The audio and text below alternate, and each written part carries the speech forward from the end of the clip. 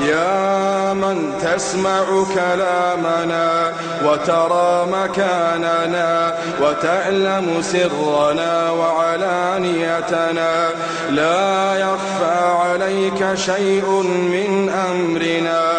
نحن البؤساء الفقراء.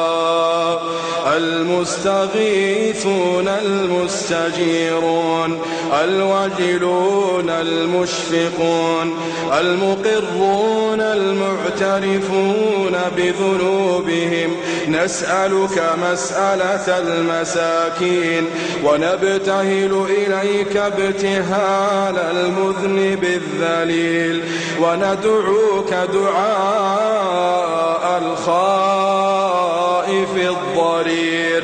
من خضعت لك رقبته وفاضت لك عيناه.